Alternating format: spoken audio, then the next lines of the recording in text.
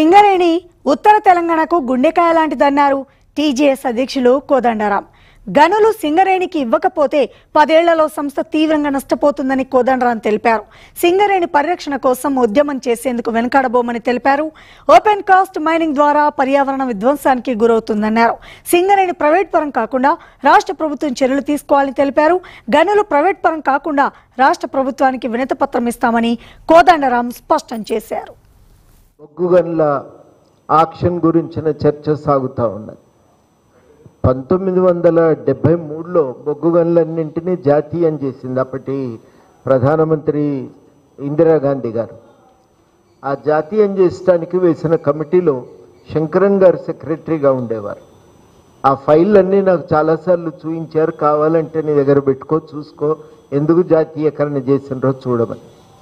ఆ రోజుల్లో జాతీయకరణ చేయటానికి ప్రధాన కారణం ఏంటంటే విపరీతమైన దోపిడీ జరుగుతుండేది తక్కువ జీతాలు ఇచ్చి ఎక్కువ పని చేయించేది. పర్యావరణ విధ్వంసానికి పాల్పడుతూ ఉండేది. వాటన్నింటినీ నిలువరించటానికి ఒక మాఫియా గ్యాంగులు ఈ బొగ్గు గనులన్నీ నియంత్రిస్తుండేవి వాటి నుంచి విముక్తి కలిగించే లక్ష్యంతోనే డెబ్బై మూడులో ఇందిరాగాంధీ గారు అప్పుడు దాని మీద కమిషన్ వేసి ఎంక్వైరీ చేసి చివరికి వాటిని జాతీయం చేయటానికి ఒక చట్టం చేశారు. పార్లమెంటు చట్టం ద్వారా బొగ్గుగల్లన్నింటినీ జాతీయం చేశారు. కానీ ఆ తర్వాత సరళీకరణ యుగం మొదలైంది ఎనభై తొమ్మిది నుంచి. ఈ సరళీకరణ యుగం మొదలైన తర్వాత చాలా పబ్లిక్ రంగ సంస్థలను ప్రైవేట్ చేసినట్టే చాలా వనరులను ప్రైవేట్ కంపెనీలకు అప్పజెప్పినట్టే బొగ్గు గనులను కూడా ప్రైవేట్ కంపెనీలకు అప్పజెప్పటం ప్రారంభమైంది. ఈ చట్టం వచ్చే నాటికే భారతదేశంలో కోల్ ఇండియా ఉంది. సింగరేణి ఉంది. కోల్ ఇండియానేమో చాలా పెద్ద కోల్ కంపెనీ భారతదేశంలో. సింగరేణి ఏమో ఇది తెలంగాణలో ఉన్నటువంటి కంపెనీ. ఇవి లాభసాటిగా నడుస్తున్నాయి. సింగరేణి అయితే స్పష్టంగా బొగ్గు ఉత్పత్తిని పెంచడమే కాదు లాభసాటిగా నడుస్తున్నది.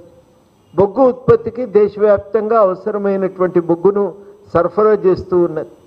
ఇది ఇవాళ పుట్టిన కంపెనీ కాదు. బ్రిటిష్ వాళ్ళు ఏర్పాటు చేసిన దాన్ని అప్పటి నిజాం ప్రభుత్వం దాన్ని జాతీయం చేసిన తర్వాత భారతదేశం మనం ప్రత్యేక స్వాతంత్రం పొందిన తర్వాత ఈ ఈ కంపెనీలు కూడా భారతదేశంలో భాగమైపోయి అవి భారతదేశ అధీనంలో నడిచే పబ్లిక్ రంగ కంపెనీలుగా అవి మారినాయి.